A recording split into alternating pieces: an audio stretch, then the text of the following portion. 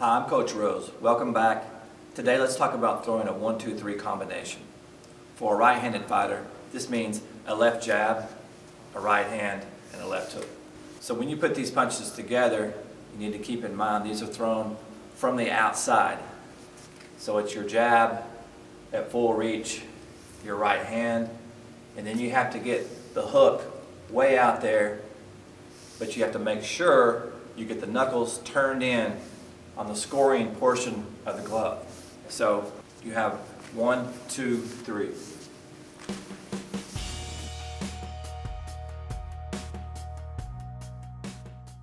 So if you have a hard time landing that combination from the outside, I recommend falling in behind the jab.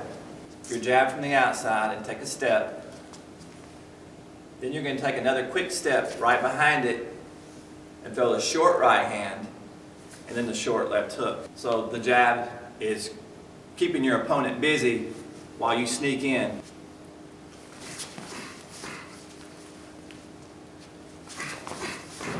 Now one other thing to remember, and very important, make sure you bring the punches back home in the middle of a combination.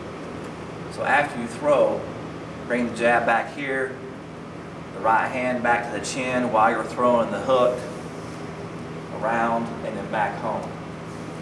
One of the worst times to get hit is when you're in the middle of throwing a combination. You're blowing air out when you throw, and you're also not thinking about defense. You're thinking about throwing the combination at hand. So the defense during a combination should be automatic. And that's something you work on in front of the mirror and you work on during sparring sessions. So when the fight rolls around, you have everything dialed in and you're ready to go. So the one, two, three from the outside with the long hook.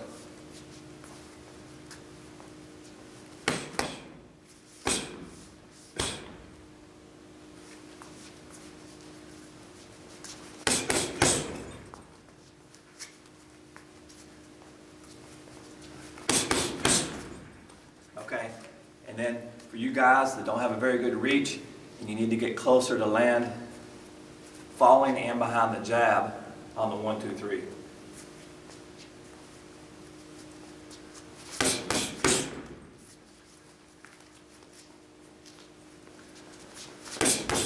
So that's your one, two, three combination. Train hard, and I'll see you next time.